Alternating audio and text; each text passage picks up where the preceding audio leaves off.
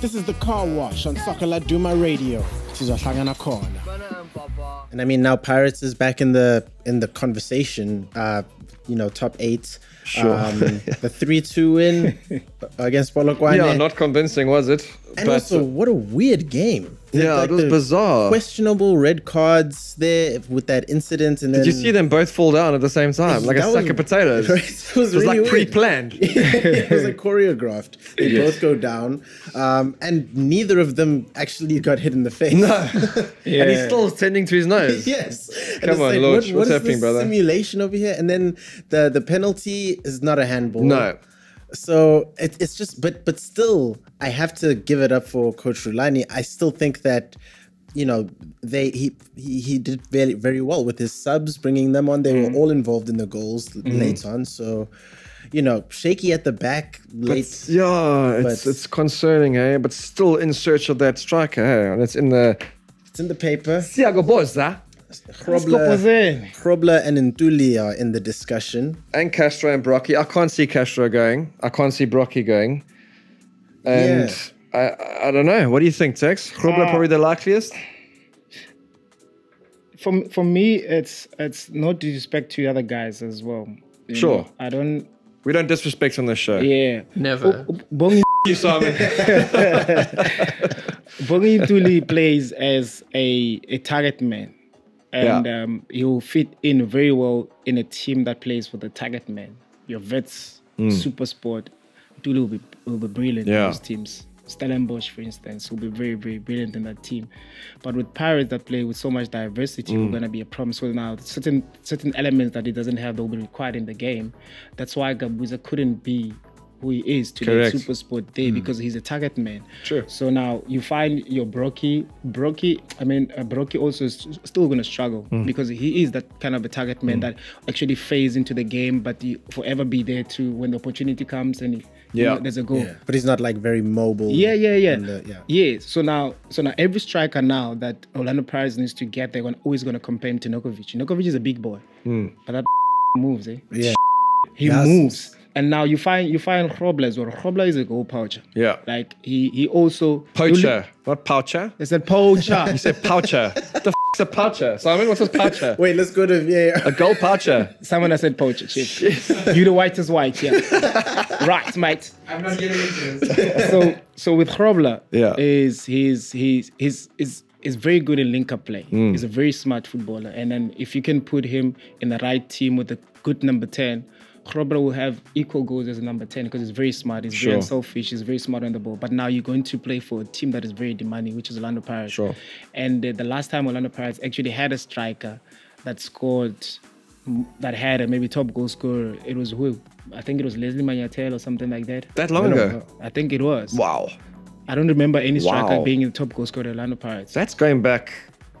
I remember, that's- I might be wrong. I might be wrong, but it's just that it's so difficult because of the demands that comes with being a striker at Orlando Pirates. I know I played there.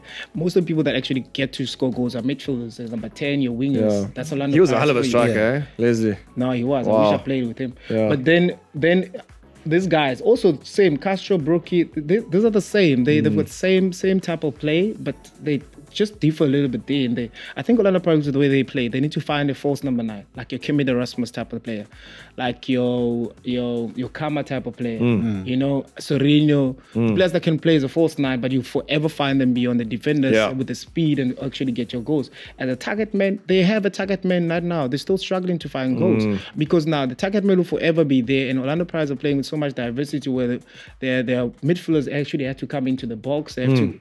to uh, combine passes, but your target man is always on the way. So now you need somebody that is very mobile to create that space, Sure. to isolate one defender, but they can't because of they're struggling with that. And uh, Interesting. So you, for- you're saying none of these four? it will never work. Yeah. No, no disrespect to, to all these guys, they can prove me wrong, but Mm-hmm. it will never work. Mainly because I've I've seen I've played with Castro, I've played with Ntuli, I've never played with with, with Grobler, I wish I did, but I know how smart he is, and I know how Castro. How, how Mm. Not even national Castro- team? You must have played national team with him. No, I never. Really, When when he started, I retired. Okay. That's a whole job, bro.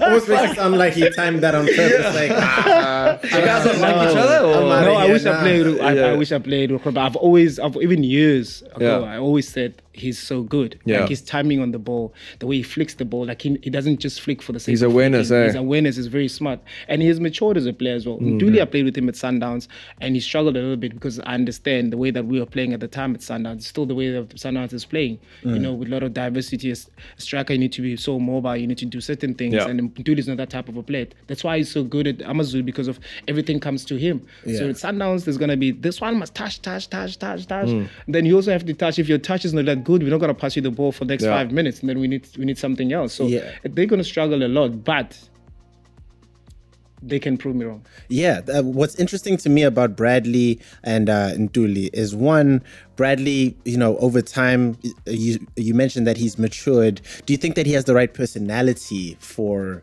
an environment like Pirates, which is it's very. I feel like SuperSport United is, is kind of like they they they they nurture their boys there. You know what I mean? Yeah. It's like very um, That's a good brotherhoodish. point. It, it, it could be the ultimate test for True. him. Mm. Do you know what I mean? I'm sure he wants to grow as a player. I'm sure he's. Uh, And I, wouldn't, I wouldn't say he's comfortable at Supersport, but what's his next step? Yeah, you need challenges. as well. Absolutely, that's the next challenge. It'll, it'll be great for his career. It'll be great Yeah. actually to test himself as well.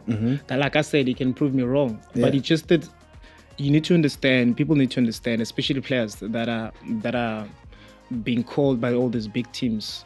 You need to understand that, guys, the demands there are way different from your national team Sure. demands Yeah. Way different from your actual team that you're playing for. The demands there are so big that you're expected to win every game. When you play for a small team, you you you're always looking up to you you're looking forward to playing Sundowns, Kaizer Chiefs, and Pirates. Absolutely, yeah. But when you play for this team, uh, Sundowns, Kaizer Every Chiefs, game's a final. Every game is a final. Yeah. So you know you need to always elevate. That's why average players in these teams they don't last. Mm. You always need to elevate yourself. This is the car wash on Soccer Laduma Radio. This is Ohlangana Corner.